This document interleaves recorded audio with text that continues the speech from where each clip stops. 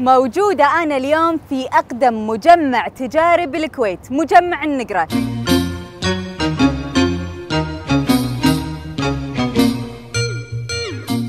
يحتوي على مجمع سكني تجاري وأول جسر مشاة مكيف بالكويت.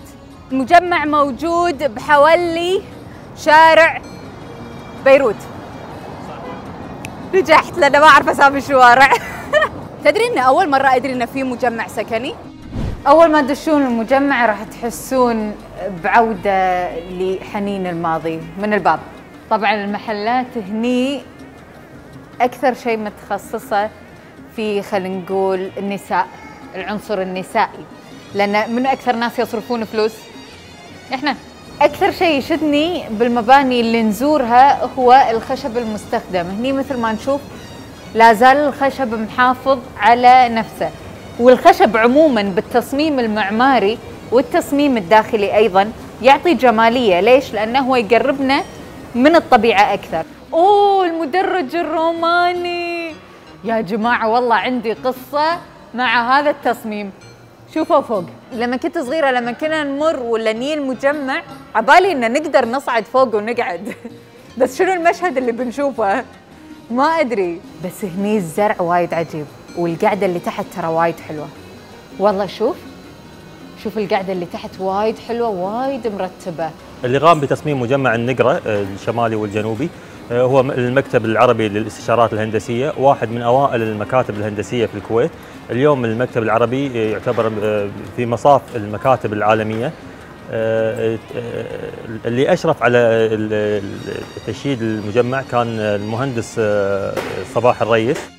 تأسس مجمع النقرة على يد المغفور له الشيخ جابر العلي سالم الصباح. شيء حلو إن أنا أحس ان قاعدة يعني أسترد ذكريات الطفولة لما كنت أجي مع امي هني ونشتري لبس العيد. صار لي تقريبا هني 35 سنة في المجمع. من الأوائل من 78 إحنا هني موجودين. أول بالمباركية عقب طلعنا من المباركيه هني. هذا أول مجمع تقريبا تعتبره بالديره أول مجمع تجاري نشاط ملابس ولا أي شيء يعني. كان شامل يعني. الكويتيين يعني الزباين الأوائل لمحين ما زالوا يعني مستمرين مجيئهم إلى المجمع. قلناها ونقولها مرة ثانية وأكثر من مرة. Less is more. بساطة بساطة. البساطة حلوة بالتصاميم والانتيرير. يعني بشكل مخصوص. ليش؟ لأنه يعطيك إحساس الراحة إن المكان شرح. وأحلى شيء إن ترى المدخل للمكان هني وايد سهل يعني بعيد عن الزحمة وتحسون إنه هو مكان بروحه. وايد تصميمها حلو. وايد ماخذة هذا الشيب اللي نص مدور. ها شبوها لنا بعد. لا تصميمها وايد حلو. يبون صدق. ملكة المطاعم. أنا وين أنت تروحين؟ مرة الاندلس يلا. انطر بمت مكانك الله يعافيك. رحنا. آه الأسانسير تصميمه وايد بسيطه يعني حتى الإضاءة اللي فوق والأرقام اللي موجودة تحسون إن هي تصميم فعلا يعني يواكب ذيك الفترة. شوفوا الممر. هذه يطل بعد على قاعدة الاستراحة اللي تحت. nice صح؟ وايد حلو. إحنا تجولنا قبل شوي بالمجمع واعتقد شفتي انت شلون المجمع ما شاء الله شرح وحلو يعني. وفي إضاءة طبيعية مستخدمين هم ال- ال skylight على أساس يعطي نور طبيعي حق ال- المجمع. نعم. منو جاينا هالحزة؟ طبعا مو شغال الانتركم. بس يعني كل بيت كويتي الحين للحين موجود عندهم هذا ترى ما يشتغل. بس إنه موجود. كان كشخة إن أحد كذي يوصل لعند الباب تحت ويطق عليك الجرس. لا وهني في شاشة ترى. لأن هذا هذا يمكن ال- المبنى الوحيد اللي شفت فيه انتركم شاشة. زين اللي هو تشوف أنت بالضبط منو اللي جايك. ما حد يقص عليك. خل أوريكم في شغلة بوريكم إياها. تعالوا. شوف الجامه هذه إذا بطلناها تبطل بهالطريقة.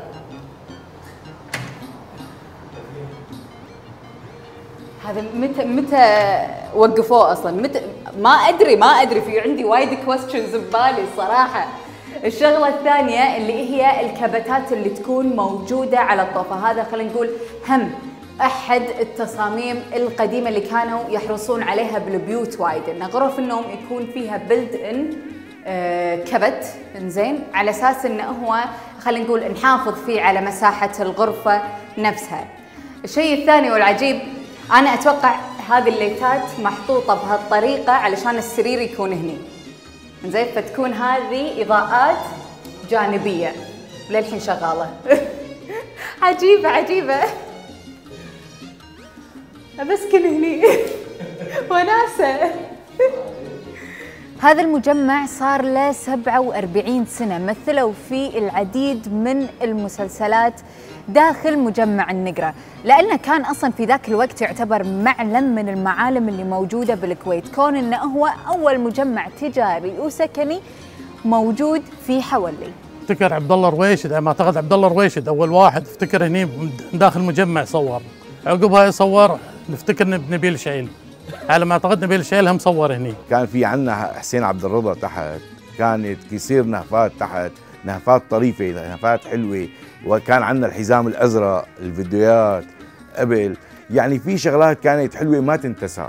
ولا يزال الإدارة الله يخلينا الشيخ أحمد يوم اللي صارت الكورونا سامحنا بالأجارات كلها وما دفعنا ولا فلس. و...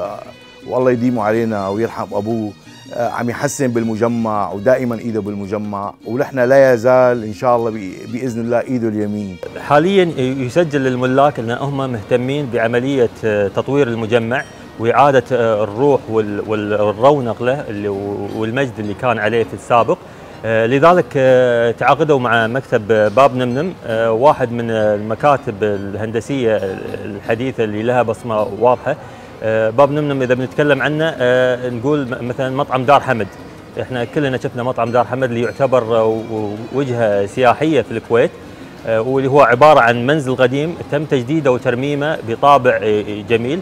يضم مجمع النقرة على مواقف كثيرة. عندنا ال B2 B1 وال ground floor ولكن أكثر شيء أحبه أنا بالمجمعات القديمة هذه هي المساحات الكبيرة للمصافط. إحنا كلنا دائما نقول إحنا رايحين حولي بس ما نقول رايحين النقرة مع إن قبل النقرة وحولي كانوا منطقتين مختلفتين.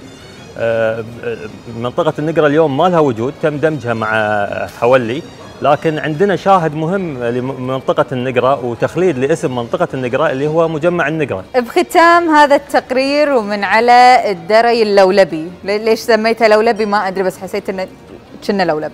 في هذا المكان اللي تشوفونه معاي هنا راح يصير في تجديد كامل. هذا المكان كله فكرته راح يصير فيه مطاعم وكافيهات وواجهة وايد حلوة على شارع بيروت. فأنا حيل متشوقة إن أرد أزور المكان بعد التطوير.